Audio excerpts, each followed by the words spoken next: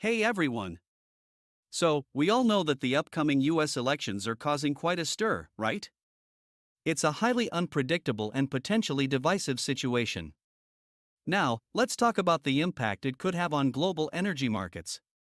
Now, we have Donald Trump, the presumptive Republican candidate, who's facing a lot of legal trouble. I mean, we're talking about 91 felony counts across two state courts and two different federal districts.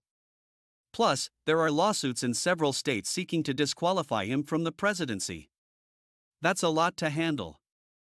But here's the thing despite all the legal baggage, Trump is actually polling favorably against President Joe Biden. In fact, he's even leading in seven key swing states. Crazy, right? Now, what does all this mean for global energy markets? Well, the outcome of the US elections will definitely have an impact.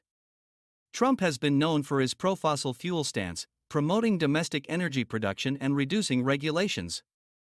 If he were to win, we might see a continuation of these policies, which could have implications for global energy markets.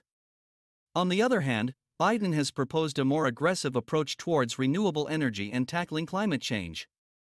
If he were to win, we could see a shift towards clean energy and stricter regulations on fossil fuels. This could also have a significant impact on global energy markets. So, as we wait for the results, it's important to keep an eye on how the US elections will influence global energy markets. It's a fascinating and crucial aspect to consider. Stay tuned. And that's it for today's monologue.